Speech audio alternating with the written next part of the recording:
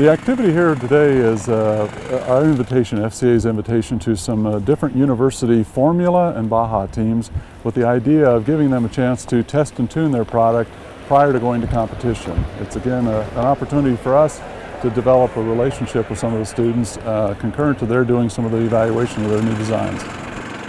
We're opening up a, a venue for them to be able to push their cars to their limits in a very safe and controlled environment and now they got six weeks to figure out and sort out what they find here today and get ready for race day. It, it's invaluable. We, we have a small test facility at our school, but we just can't get all of the suspension tuning that we need. We don't, we don't have the ability to construct the obstacles that you guys can here that you use to test your vehicles. It, it's incredible. They're learning how to work in teams. They have a, they'll have a chassis team. They'll have a software development team. They'll have an engine team.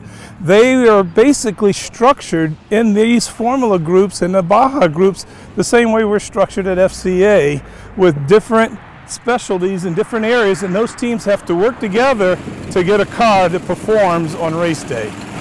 It's really helpful to be able to use the um, like hill climbs and rock crawls here so we can tune our CVT and also tune our shocks on our suspension. Um, that's something we don't have at school.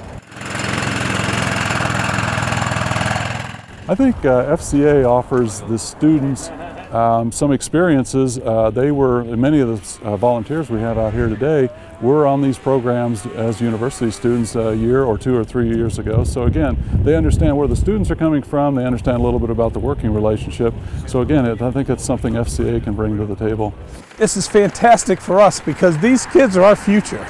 And to see these kids come out here, when you sit down, you talk to them, the pride in their voice, the excitement they bring, it's a fantastic event. It's unbelievable.